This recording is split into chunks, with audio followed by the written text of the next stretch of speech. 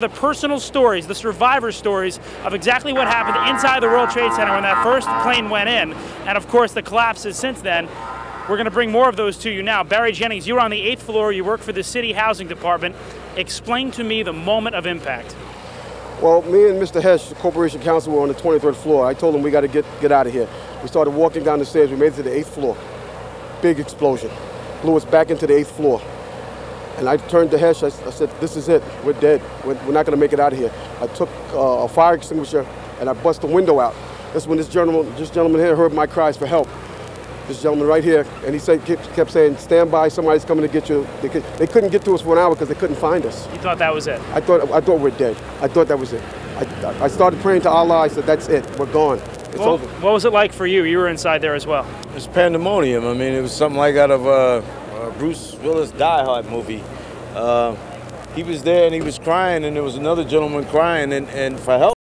We couldn't get to him. We tried to get through the. Uh, we, we went through the buildings. We were lost. Both staircases, the, the backside was completely blown away. There was no way to access us. We couldn't get to him. And finally, uh, one of the one of the fire department teams found him. But uh, we didn't think we didn't think they were going to make it. Certainly you got out. Many others didn't. Of course, we don't have a number right now of fatalities or injuries, but I want to translate a story to you that another man told me. He was near the building. He was on the lobby level, near the shopping area, near the promenade. The elevator doors, he said to me, blew open. And when the doors opened, there was a man on fire inside that elevator. That is the kind of tragedy we are talking about here, and where the World Trade Center once stood here in New York City is no longer. At least not like we knew it. These men just embraced. This man is crying. It has been that traumatic. I don't want to. I don't want to cry in the air, man. But I thought that was it. I thought I was dead. I, I'm thinking about my sons.